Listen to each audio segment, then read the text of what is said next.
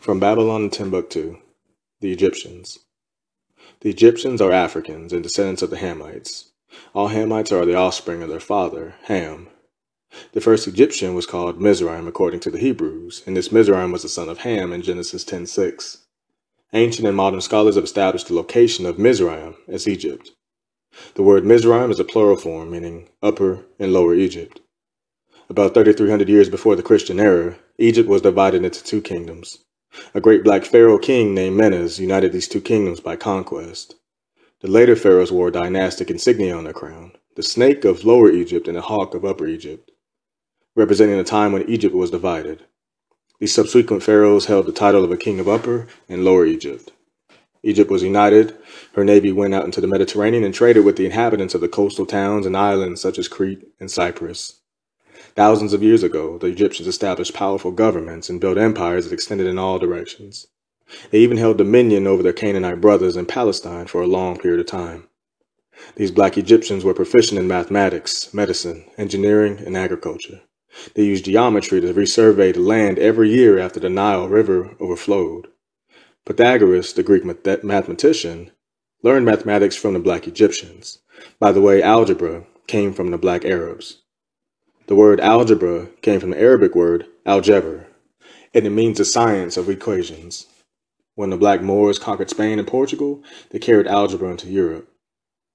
And Mizraim begat Ludim and Anamim and Lehabim, and Naphtuhim and Pathrusim and Casluhim, out of whom Philistim, or the Philistines, and Caphtorim.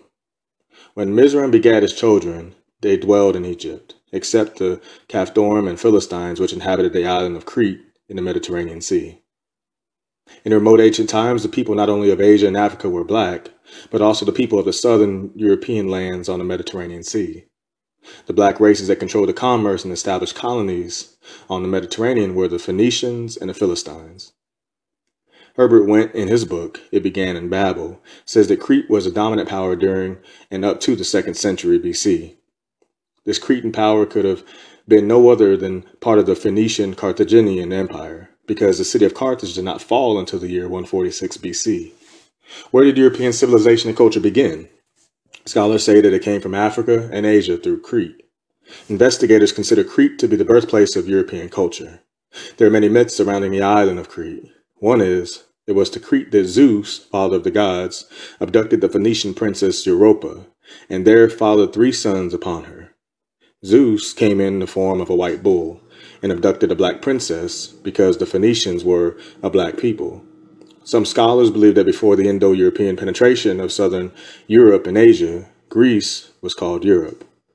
Most likely some Cretans settled in Greece.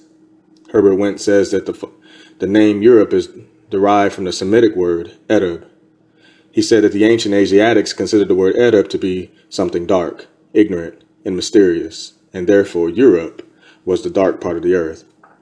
A social cataclysm, or earthquake, struck the island of Crete and destroyed its capital at Knossos about 2000 BC.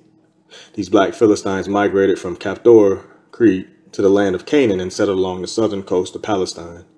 The land of Palestine gets its name from the Philistines who inhabited that region.